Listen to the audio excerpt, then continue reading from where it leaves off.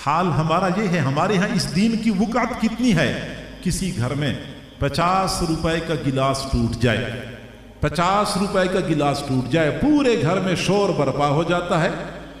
माँ अपने बेटे को डांटती है कि तूने गिलास तोड़ दिया।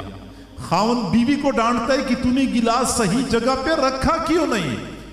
अगर सास बहू से झगड़ती है कि तूने पिछले हफ़्ते भी एक गिलास तोड़ा था, अब ये दूसरा तोड़ दिया। वो पिछले हफ़्ते वाला गिलास भी उसको याद होता है। वो पचास रुपए का गिलास टूट गया, पूरे घर में शोर बर्पा हो गया, लेकिन उसी घर में अल्लाह रब्बुल इज़्ज़त का अजीम फरीजा, जो नमाज़ है, रोज़ाना पाँच मरतबा पामाल होता है, किसी को जरा बराबर भी एहसास नहीं।